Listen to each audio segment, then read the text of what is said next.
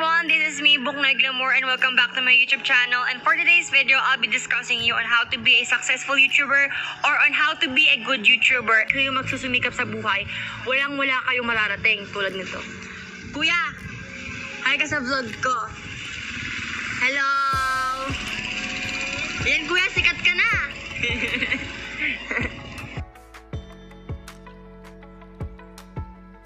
Good morning mga dear! So I've seen that Buknoy is trending on Twitter.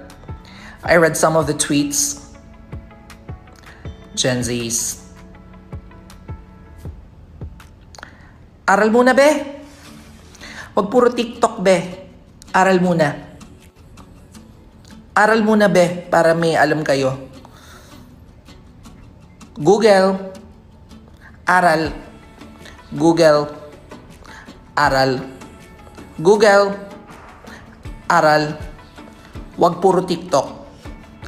A friendly advice from your ate Kalad Karen. At kung mag-apologize, alamin ko sa nagkamali. And be sincere.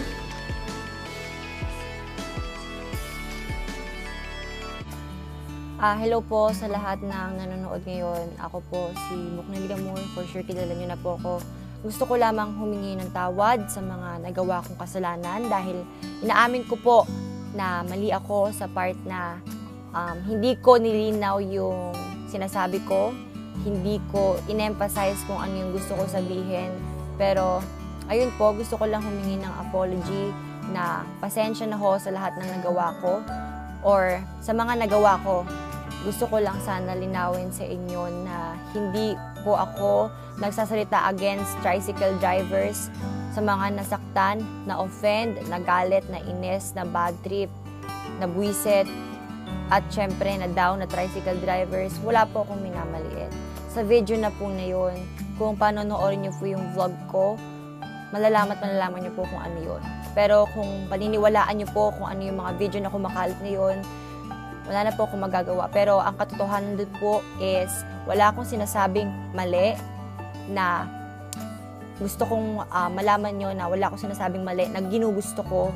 And also, wala rin akong gustong sabihin na masama about tricycle drivers dahil simulat sa pulpo, lahat ng tricycle driver dito, kaibigan ko, kabiruan ko, kagaguhan ko. The same time, nung grade 1 pa ako hanggang grade 7, sinasakyan ko yan, binibiro ko yan, lahat ng kabiruan na ginagawa namin, yun lang din yun. Pero gusto ko na sabihin sa inyo na lahat ng tricycle driver dito, kilala ko, katropa ko, ka, kabugbugan ko minsan at katrip ko. Pero sana maintindihan nyo na lahat ng tao nagkakamali. At ako, nagkamali ako. Pero gusto ko lang din mag-sorry sa lahat ng taong hindi alam yung buong kwento na patuloy pa rin na naninira. Pero sana po, wala na hong mangyaring paninira sa social media dahil wala na po akong ginagamit na social media sa ngayon. At sabihin ko po sa inyo, wala po akong against sinasabi sa mga tricycle driver, sa mga marangal na nagtatrabaho dyan. Proud ako sa lahat ng tricycle driver at hindi nyo pa for sure nakikita ko ano yung mga pinagagawa kong mabubuti, kundi nakikita nyo is yung mga bad sides na ginagawa. Pero maraming maraming salamat po sa lahat ng mga nanonood at patuloy pa rin na manonood. At please, please lang po, wag na po tayong mag-spread ng fake news dahil mas lalong lumalala po yung tingin sa akin ng ibang tao. Yun lamang po. Maraming maraming salamat.